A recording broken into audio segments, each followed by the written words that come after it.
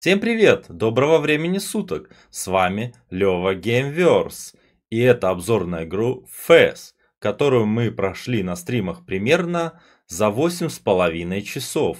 И в этом обзоре вы увидите геймплей начальных уровней, немного звукового сопровождения и многое другое. Итак, начинаем. Поехали!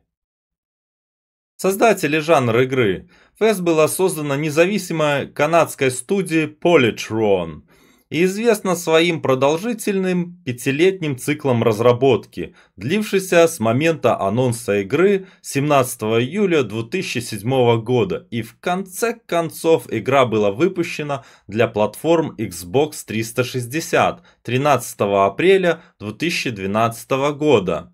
Изначально она являлась эксклюзивом платформы, однако позже гейм-дизайнер и руководитель разработки Фил Фиш решил выпустить ее на остальных платформах. Жанр игры у нас это пазл-платформер, действие которого происходит в трехмерном мире.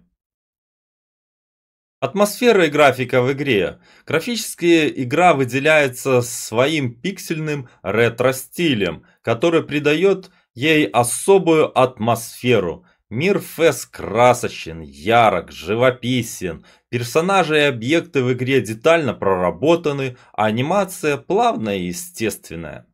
Графика выполнена в 2D стиле, но мир игры можно проворачивать на 90 градусов, что позволяет увидеть ее с разных ракурсов, превращая мир в 3D. Присутствуют циклы смены дня и ночи. Есть эффекты такие, как небольшие отражения, видно, как идет дождь, а, сверкают молнии, присутствует эффект, э, как течет вода, птицы летают, что-то где-то ползает. И вот это все придает еще больше атмосферности игре. Геймплей. Геймплейная составляющая – это исследование окружающего мира и решение головоломок. Основная механика геймплея – способность проворачивать мир вокруг главного героя на 90 градусов. Это добавляет глубину 2D платформеру, заставляя думать трех измерениях, чтобы решить головоломки и продвигаться дальше.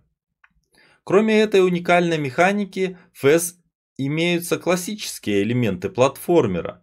Гомес может прыгать, плавать, взаимодействовать с объектами в мире, такие как рычаги или ящики. Эти элементы сочетаются с основной механикой поворота мира, создавая разнообразные и интересные задачи.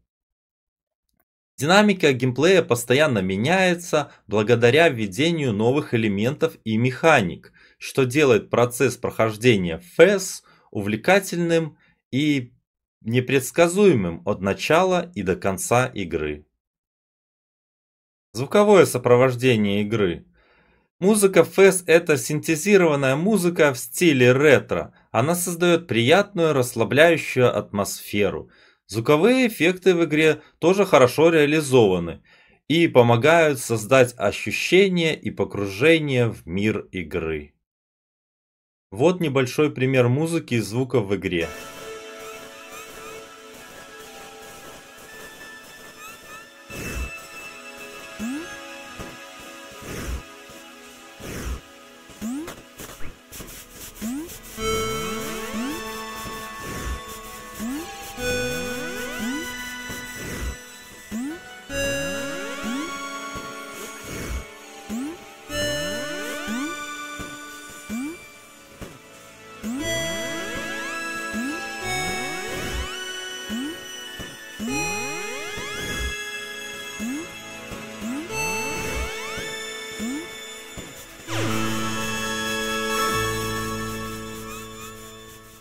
Плюсы и минусы.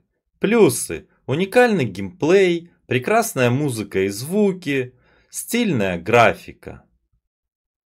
Минусы. Мало пояснений механик в игре. Вначале не хватает локаций, чтобы пояснить больше управления в игре. Гиперкуб, который напарник, иногда мешает. мельтешит перед глазами, когда ты пытаешься разгадать что-нибудь. Хотелось э, немножко чуть больше пояснений от напарника о мире, толковых подсказок хоть чуть-чуть. Нельзя отключить подсказки типа э, это рычаг, это сундук, это вентиль, когда тебе это гиперкуб уже где-то десятый раз повторяет, вот это вот чуть надоедает. Э, чтобы разгадать смысл игры, так как я понял, что здесь присутствуют скрытые элементы сюжета, и она рассчитана на игру плюс. Хотелось бы разгадать большую часть игры все-таки без э, игры плюс. Вот такие минусики. Вывод и мнение. Фэз рекомендую как новичкам, так и опытным игрокам, всем любителям платформеров и разгадыванию загадок. Мнение такое, игра уникальная и стилизованная, но я думаю, что относиться к игре надо по-обычному. Наслаждаться графикой, получать кайф от решения головоломок.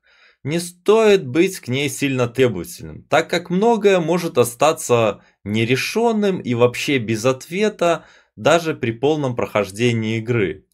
Также думаю, что могло бы быть э, меньше скрытности в плане сюжетности, чтобы было больше подсказок и каких-то рассказов от напарника нашего гиперкуба.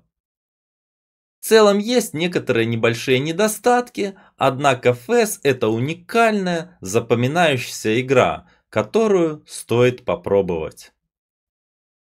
Спасибо за просмотр. Надеюсь, такой обзорчик понравился. Не забудьте подписаться на канал, поставить лайк и оставить комментарий. До новых встреч!